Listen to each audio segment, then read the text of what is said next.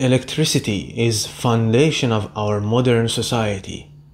Almost everything requires electricity to be able to function.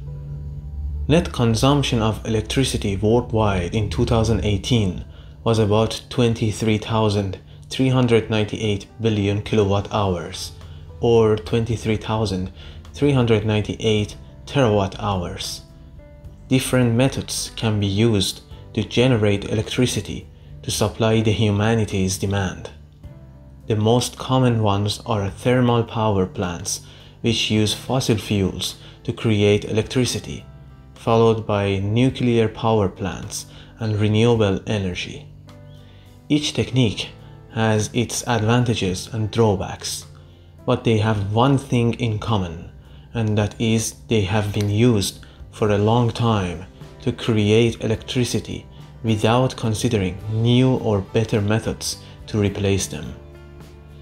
The techniques that can give us infinite and abundant electricity without causing environmental footprint that would damage Earth ecosystem.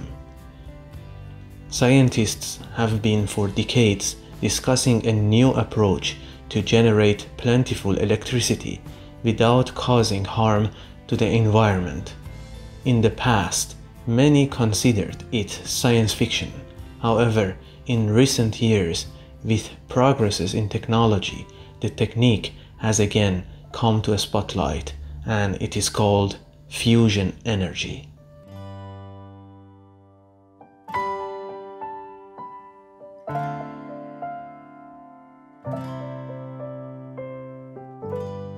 The sun and other stars are generating their energy by nuclear fusion. The energy is the essence of stars to survive. Imagine having that energy created here on Earth. The benefits of it would be enough to create infinite and abundant electricity for the humanity. There is the word between scientists that says the fusion energy is 30 years away and always will be, referring to the fusion energy as a science fiction which would never happen. However, with current progress in technology, advancements in creating energy using novel techniques, and better understanding of fusion powers physics, the aperture for putting the fusion energy on the grid has widened drastically, and we could see the first practical experiment for the energy to happen within a couple of years. But what exactly is fusion energy? As the word fusion suggests, the nuclear reaction combines two or more atomic nuclei to create one or more distinct atomic nuclei and sometimes subatomic particles. Energy is released by the fusion of light elements, which is caused by interplay of two opposing forces. Protons and neutrons are held together in the nucleus by the strong nuclear force and Coulomb force causes positively charged protons to repel each other. In order to release the energy in the form of radiation and emission of subatomic particles, the strong force at the very short distance scales of atomic nucleus dominates Coulomb repulsion to attach the protons and neutrons together. This results to fusing of small nuclei and subsequently increasing the strong force nuclear binding. Fusion fuels have energy density of about a million times higher than fossil fuels and also way superior energy density compared to other chemical methods. This is due to the fact that the energy of chemical processes is infiltrated and affected by nuclear binding forces far more powerful than the forces that keep electrons together around the nucleus. Stars like our Sun are powered by proton to proton fusion, in which it takes billions of years for this gravity powered reaction to complete. That is because it needs colossal densities. Needless to say, this method would definitely not work for fusion energy production on Earth. Instead, other methods can be employed that require lower densities but with far higher temperatures. With increasing the temperature to about 150 million degrees Celsius and higher, and confining it, enough speed can be produced for nuclei collision in order to overcome Coulomb repulsion and for the fusion to occur. One of the most prominent and feasible methods to produce fusion energy is the deuterium tritium reaction. The deuterium tritium reaction, abbreviated DT, would be the most practical option to utilize in order to create fusion power. This is because of the fact that DT releases the highest energy in comparison with other laboratory feasible reactions. The high energy release of reaction can easily overcome the Coulomb repulsion. Deuterium and tritium are both isotopes of hydrogen. However, at the moment, most of the fusion experiments are being focused on deuterium to deuterium reaction due to some limitations of tritium.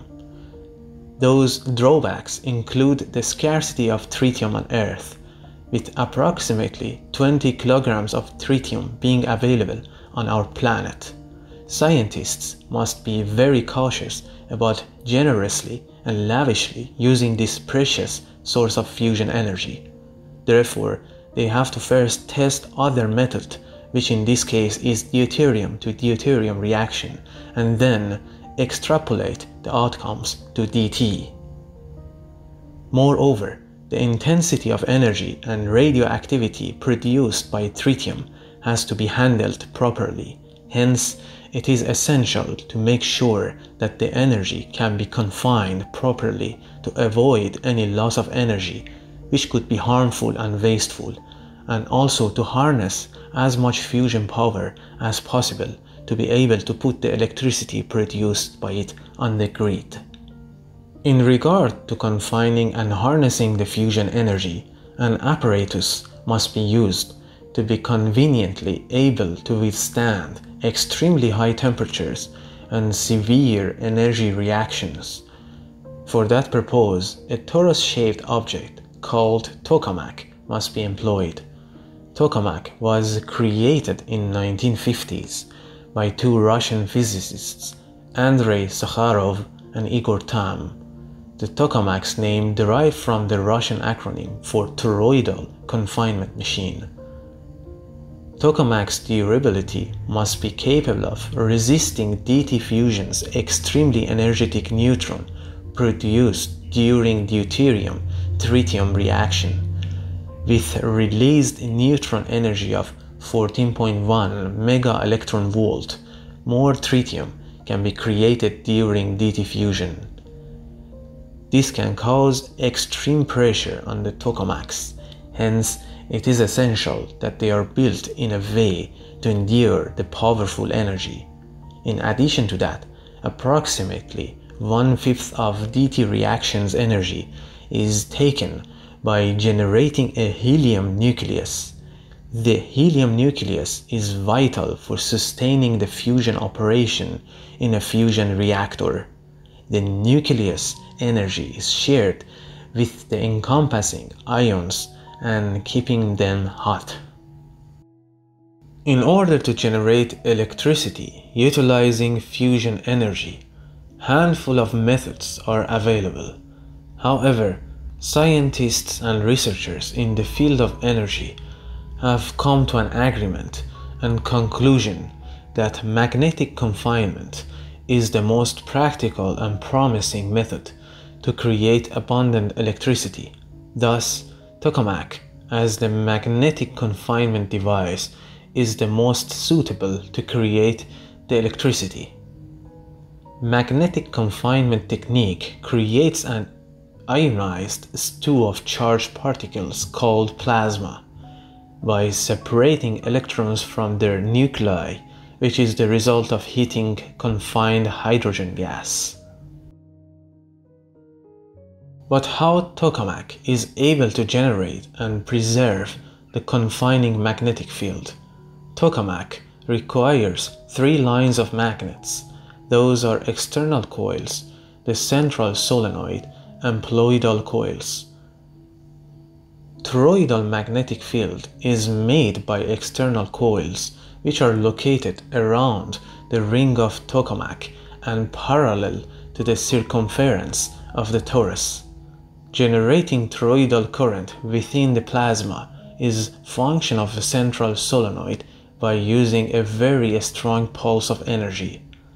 As a result, a second poloidal magnetic field would be made through the movement of ions with toroidal current. Lastly, the location and form of plasma are controlled by poloidal coils which are located around the circumference of the torus. The ionized particles are confined in a variety of orbits within and around tokamak by an array of nested flux surfaces that are formed by the alignment and arrangement of three aforementioned magnetic fields. As a result, tokamak can attain very high temperatures. Thanks to the strength of the magnetic fields, the plasma particles are tied to the fields, preventing the scorching and hottest parts of the plasma to reach the walls of tokamak, creating insulating effect within the toroidal apparatus. In order to induce fusion, the insignificant magnetic confinement and certain amount of heat are created by the induced plasma current. However, those are not enough to persuade fusion. In addition to them, microwaves and particle beams provide extra heating required to inducing fusion energy. Feasibility and practicality of tokamak to create fusion energy depend on one important factor the value known by scientists as fusion gain, which is recognized by the letter Q. The fusion gain states that to impel fusion reaction, the tokamak must be able to generate more fusion power than heating energy required to start the reaction. In other words, the heating energy is the cost of generating the fusion power and if less fusion energy created compared to the heat used to generate it, then the fusion power created will be impractical and infeasible. Q equal to 1 shows the break-even point, which is equilibrium ratio of fusion power to input power or heat in order to maintain a reaction However, due to heat losses during the process of reaction, Q should approximately be equal to 5 to achieve burning plasmas. Currently, by utilizing DT reactions, tokamak has been able to reach Q value of about 0.6. However, for the fusion power to be economic, fusion power plants have to achieve Q values of 10 or above. Researchers, scientists, and engineers in the field have already started constructing the biggest fusion power plant called International Thermonuclear Experimental Reactor or ITER in southern France. In the next part, ITER and few other important fusion energy power plants under development will be introduced and explained in more details.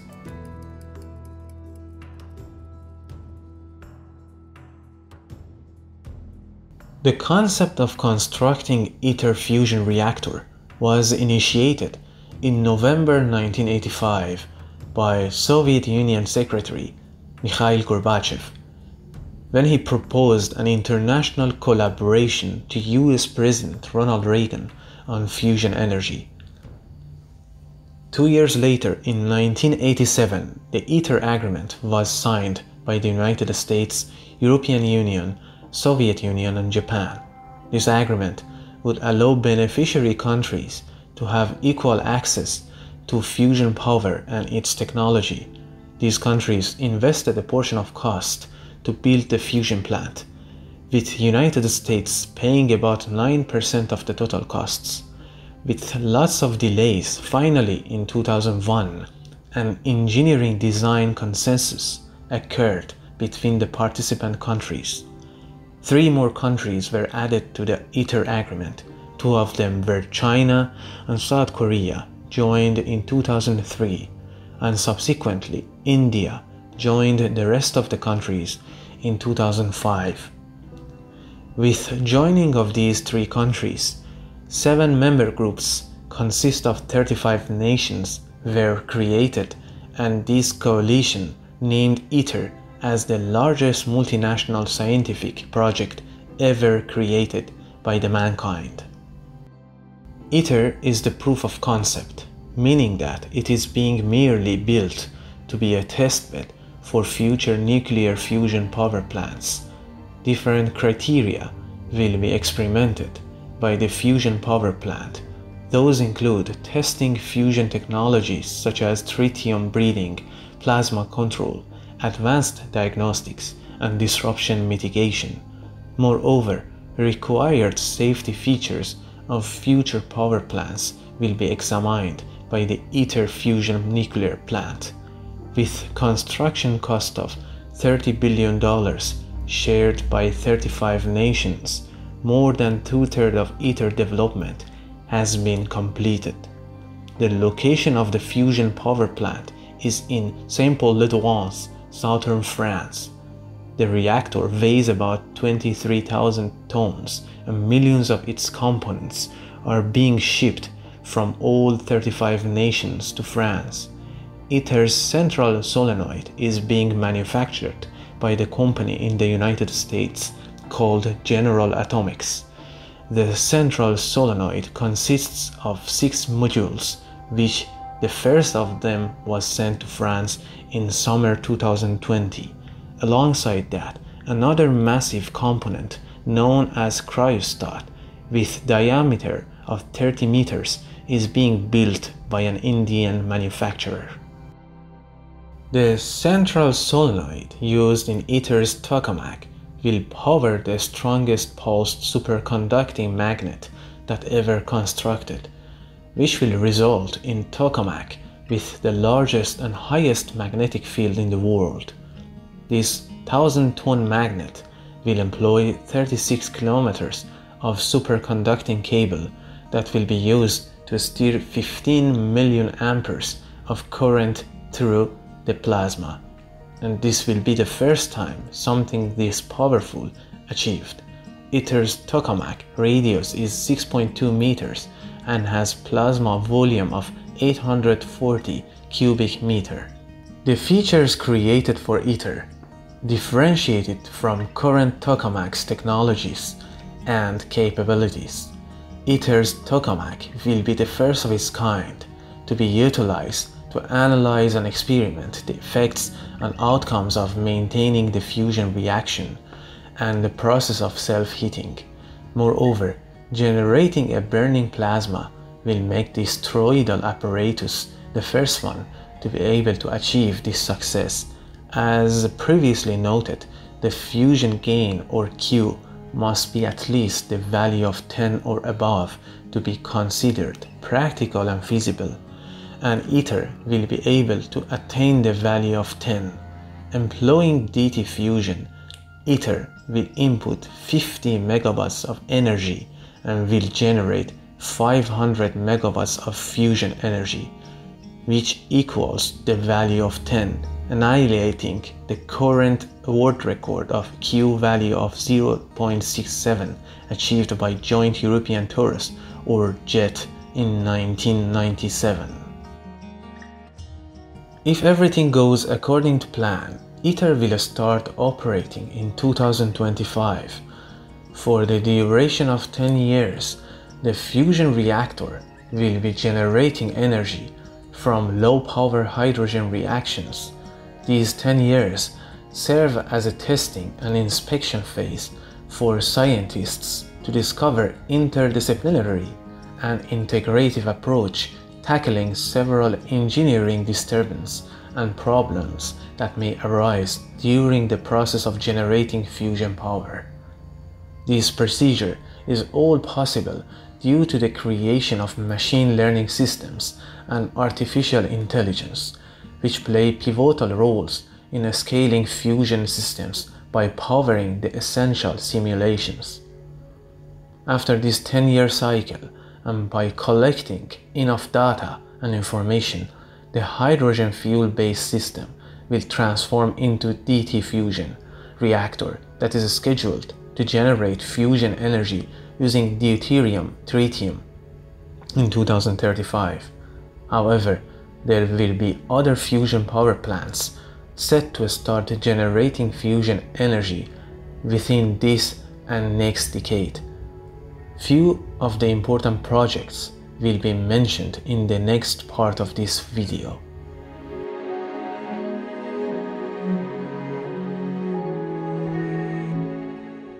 SPARC is a fusion energy reactor project that is under development by MIT and is being constructed by a spin-off company, Commonwealth Fusion Systems.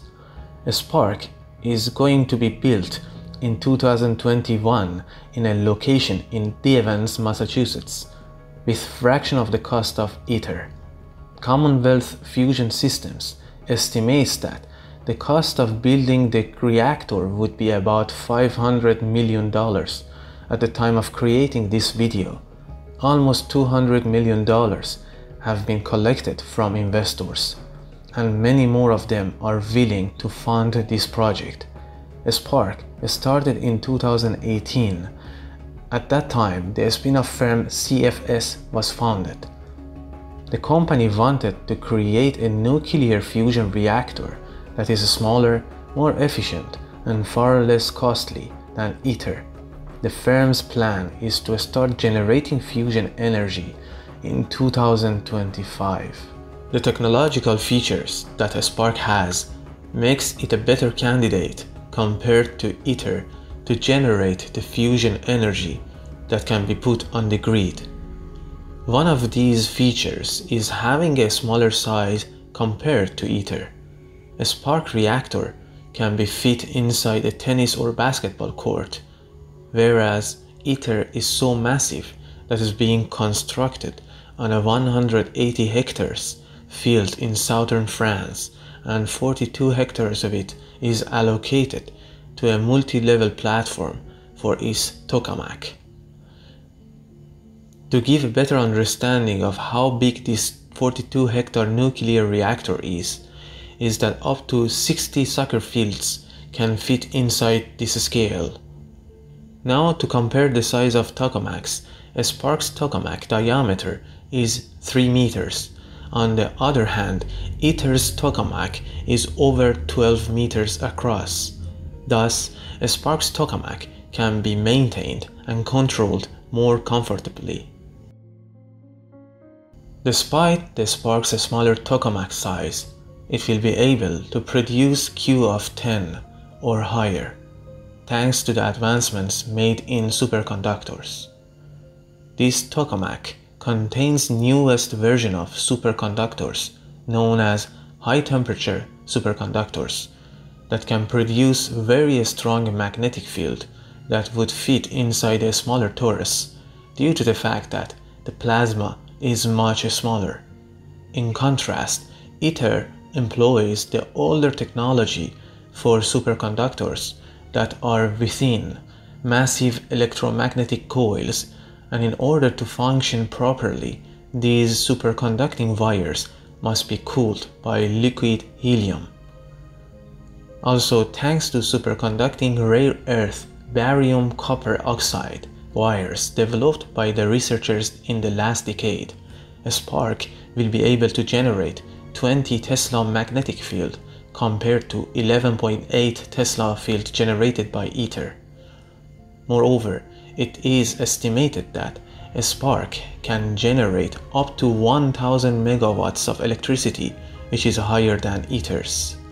These numbers attest that a SPARC will be a winner when it comes to the future of fusion energy.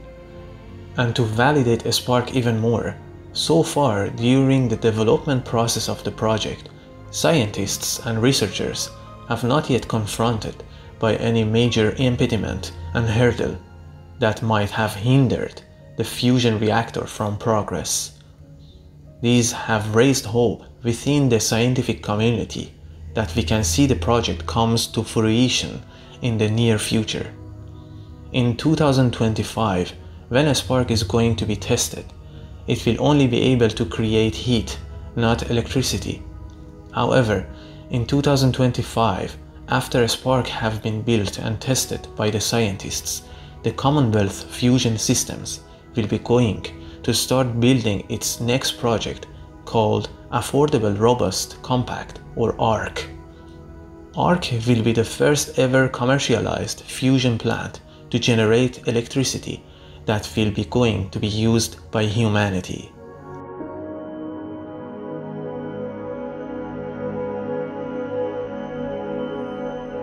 Another interesting and significant project currently in development is from a private company in the UK called Tokamak Energy.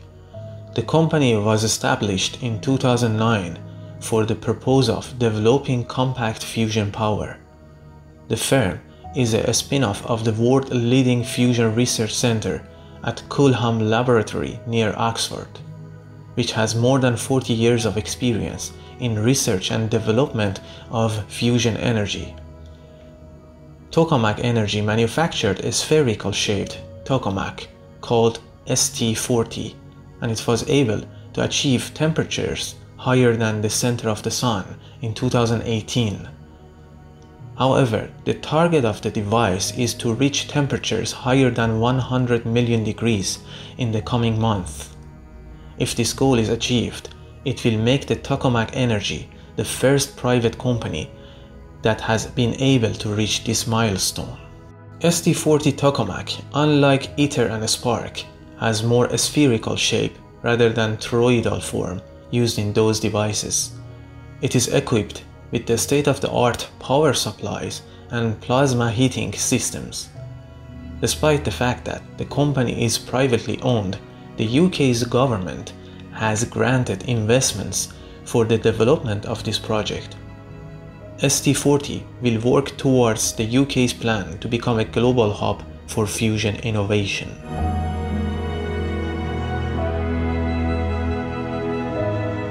General Fusion is a company located in Vancouver, British Columbia, which is financially backed by Amazon CEO Jeff Bezos and corporations such as Microsoft. The company has been using a method called magnetized target fusion or MTF technology to generate fusion power, which was developed in 1970s and was first initiated by the US Naval Research Lab. According to General Fusion's website, more than 200,000 hydrogen plasma tests have been done to collect measurement information and data about the factors such as magnetic field, density, and temperature.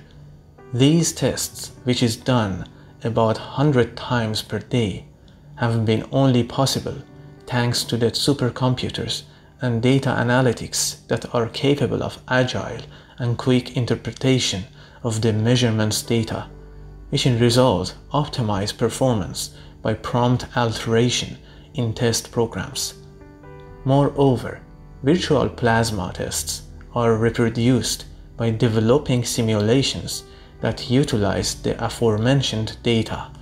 Researchers in General Fusion use these simulations as the blueprint to develop and design the largest privately funded MTF prototype in history named Fusion Demonstration Plant or FDP. The plant will be used to display how the technology works and what we'll achieve in an environment based on fusion reactor. Also, 3D printing technology will be used to construct a component of fusion apparatus which is called cavity formation. The technology will be utilized to make this part due to the fact that building it with conventional methods would be architecturally extremely challenging and also would be very costly. The technique used by General Fusion, magnetized target fusion, is somewhat technologically different compared to aforesaid fusion power plants. In order to generate fusion energy, the plasma within the 3 meter sphere used by general fusion will be pressurized to superheat the plasma. In this method, a tank of liquid metal will be spinned until a cavity is formed. Afterwards, a hydrogen plasma is injected into the cavity and then the plasma will be compressed by pistons and heated to temperatures higher than 100 million degrees Celsius. This action results in creating energy in the form of heat by fusing hydrogen atoms. The outcome will be generating fusion energy and all of the compression process happens very quickly and in milliseconds. The liquid metal walls would be heated by the fusion reaction and by extraction of the heat from the metal, the steam will be created to propel and move a turbine in order to generate electricity. So far, there is not a definite date to start experimenting the magnetized target fusion. However, General Fusion expects that sometime in 2025 they will start testing the fusion power plant. There are a handful of other nuclear fusion energy projects all around the world. However, the four stated projects would suffice for this topic. Now let's take a look at challenges and current technology limitations that might be the impediments for generating electricity from fusion energy. Also, the benefits and advantages of fusion energy will be discussed.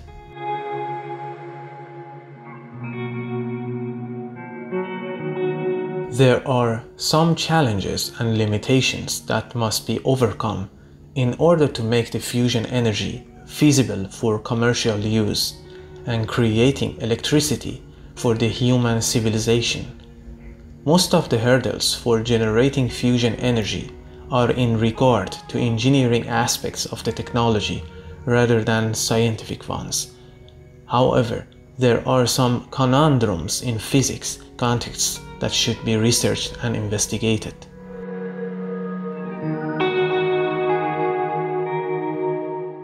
Confining a fusion plasma inside a magnetic field is a major difficulty in the process of creating fusion energy.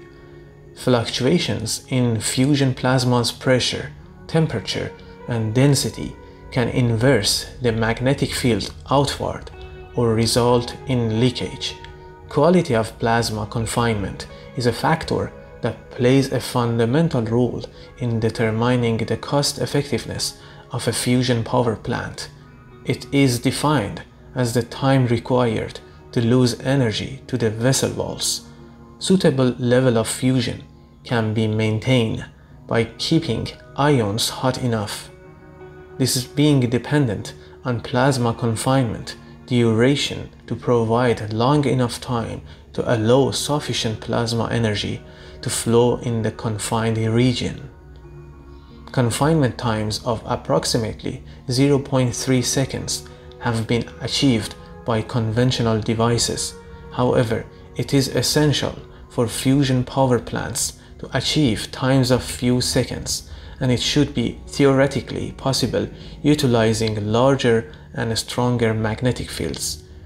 Reducing capital costs has been connected to the confinement quality. Recent research and studies have shown that confinement quality has a decisive and direct impact on the size of the tokamak as well as other substantial factors such as the handling of heat and particle loads. Consequently, in order to reduce these costs, further research to develop higher quality confinement solutions is of great importance.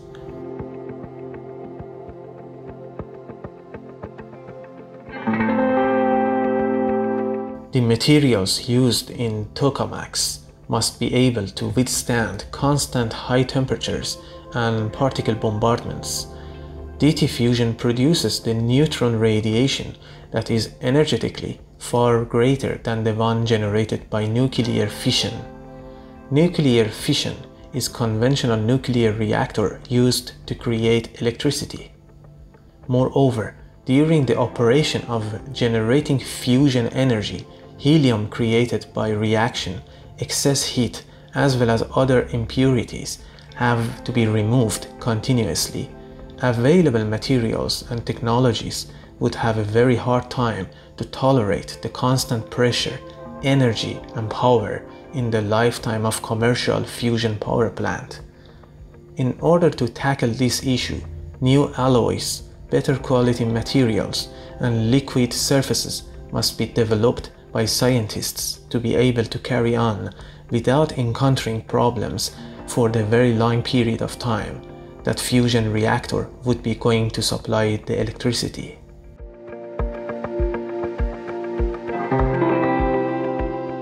As already mentioned, tritium is very scarce in nature, unlike deuterium, which is far more abundant in the environment. Hence, in order to have access to more tritium, they must be manufactured, which will cost a lot. For instance, 50 kilograms of tritium fuel should be used on a yearly basis for 500 megawatt power plant to function. By looking at current global tritium production capacity of about 2 to 3 kilograms per year, generating electricity by fusion reaction would be an impossible endeavor. Also, add to that the cost factor and billions of dollars is required to make a single fusion reactor functional, which makes this method infeasible and impractical.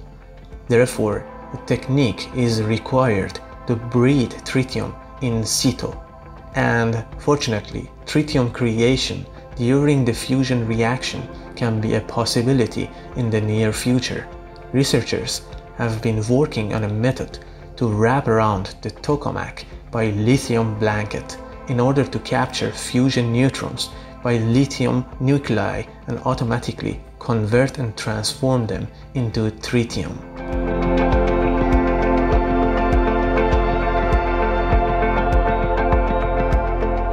But these challenges are outweighed by benefits and advantages fusion energy brings to the table.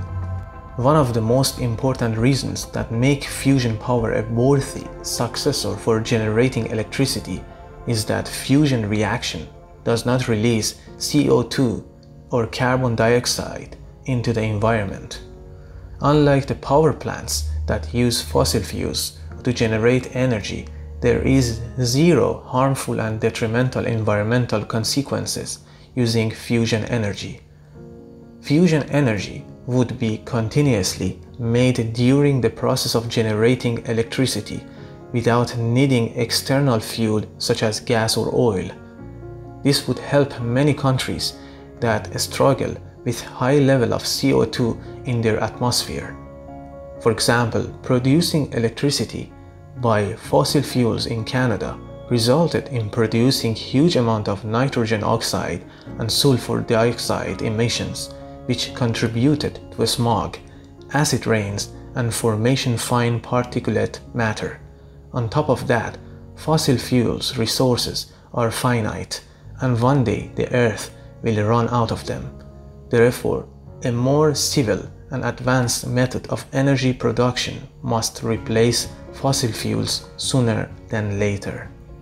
Regarding the renewable energies such as wind and solar, they also come with limitations that have made them not the best techniques of generating electricity. Wind farms, as one of the most notable methods of generating energy, has disrupted the ecosystem in some ways, such as interrupting and jeopardizing birds' migration patterns. In case of solar energy, the high price of solar panels makes it an unappealing choice to produce electricity, and to add insult to injury, it is horrendously inefficient to generate electricity, despite it being very expensive. Moreover, both of wind and solar energy have lots of idle time for producing energy due to the environmental conditions. For instance, lack of wind for windmills or overcast and nighttime for solar energy would definitely bring generating energy by these methods to a complete halt.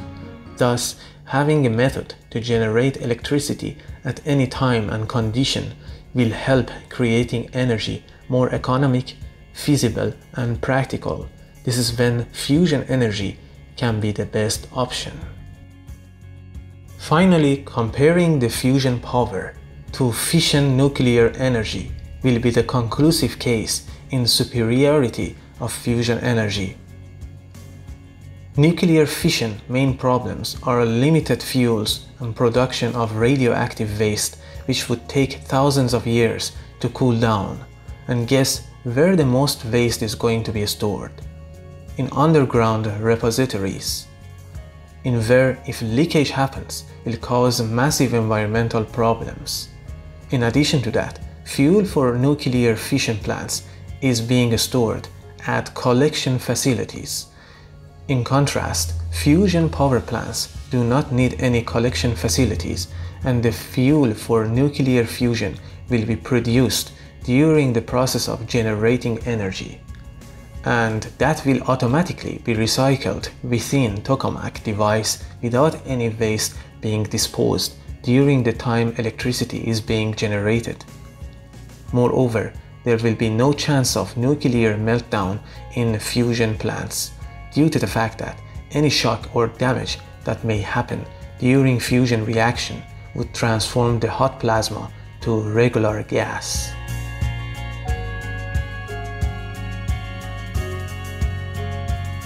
The dawn of fusion energy can be started as soon as 2025 when first experimental fusion power plants will be beginning to test generating electricity.